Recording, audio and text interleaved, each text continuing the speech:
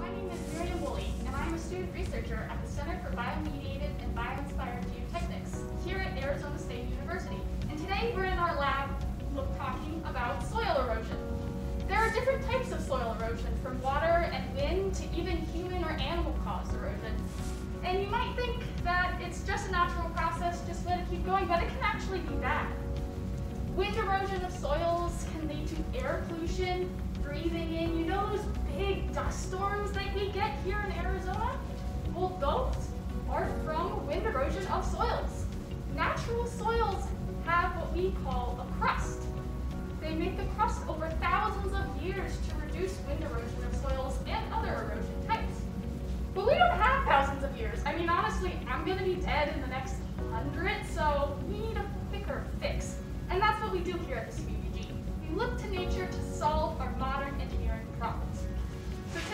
talking about stabilizing the surface of the soil the bio way.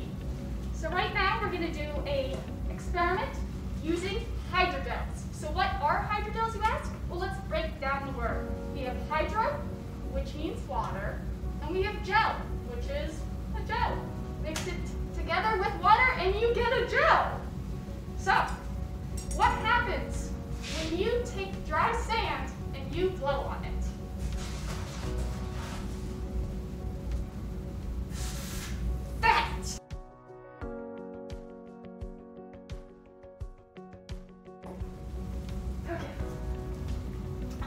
We wear goggles and masks. Safety first, kids.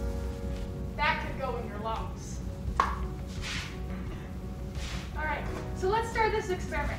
First, we're gonna need small containers. Either I like to use Dixie cups, and you're gonna want to take a scoop of sand up to about three quarters of the way up.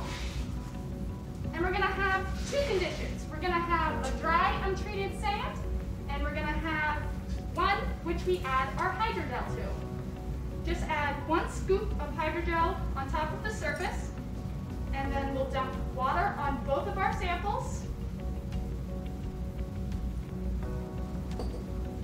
And then give it 30 seconds.